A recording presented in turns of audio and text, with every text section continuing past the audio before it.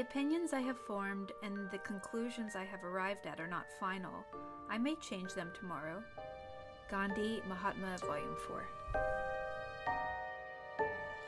This was one of the most remarkable characteristics of Gandhiji that he did not cling to his opinions, and that made him a much more effective worker in the social and the political world, and it also enabled him to progressively readjust his course to the truth.